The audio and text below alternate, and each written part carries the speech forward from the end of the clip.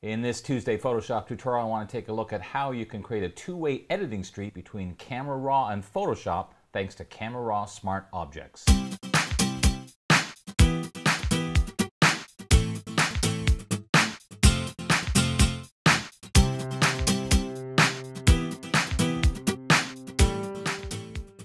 I'm Dave Cross, and as I said in this tutorial, I want to take a look at Camera Raw Smart Objects.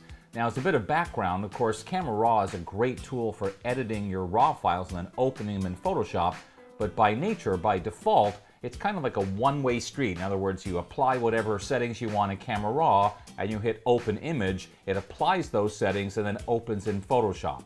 But then if you want to make any further adjustments to those Camera Raw settings, you really can't because it's only gone from Camera Raw to Photoshop.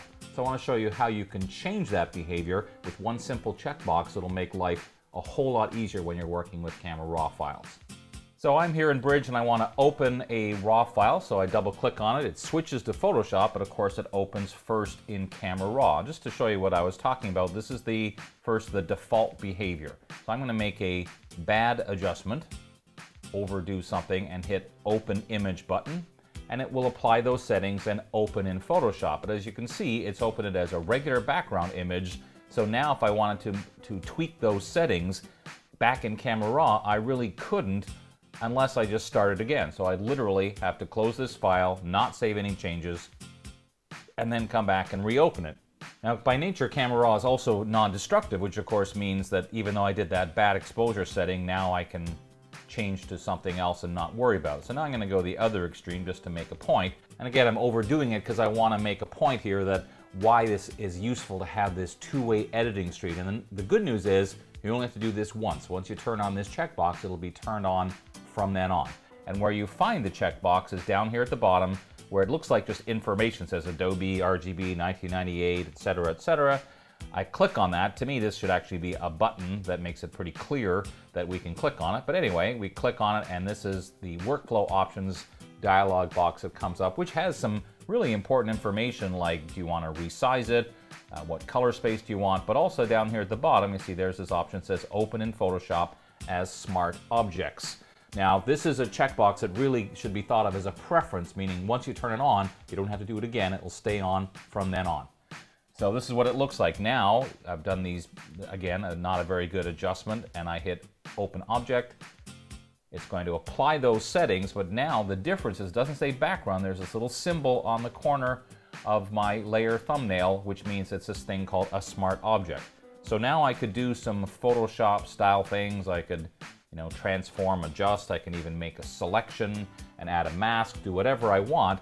But then at any time, if I want to make any further adjustments to it, I just go right to my thumbnail of the layer, double click on it, and that's going to jump me right back to Camera Raw. So this is now live editing, so I can make whatever changes I want. Let's pump up the saturation a little bit just to show you that I'm doing something dramatic. Maybe bring the highlights down, the whites down just a bit.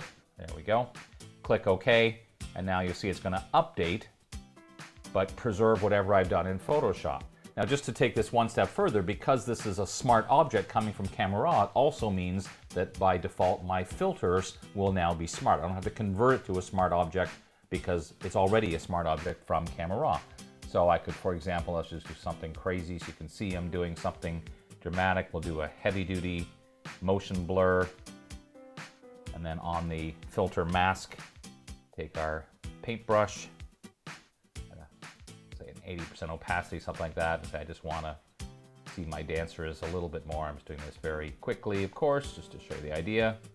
And let's say we've done that and now we've got all these effects on, but even now I want to adjust some setting in Camera Raw. Just double click on that thumbnail and I could, for example, convert it to grayscale. Click OK, and then it's going to go and update. So there's lots of times where this can be very useful, especially for things like when you're trying to make a selection and it's hard to see the edge of your subject, temporarily in Camera Raw, overdo the adjustment, maybe really expose it very highly or underexpose, whatever you need to do to make it easier for you to see the edge of the person you're trying to select, then of course, whatever tool you're using, like the quick selection tool, will also work more easily. Then, once you're finished making that selection and or mask, Just simply jump back to Camera Raw and change it again. So it's a really powerful way of working between Camera Raw and Photoshop, making that two-way editing street thanks to Camera Raw Smart Objects. Be sure to tune in every week for my quick little Photoshop Tuesday tutorial, and we'll see you next time. Please subscribe and share this video with your Photoshop using friends. Thanks very much.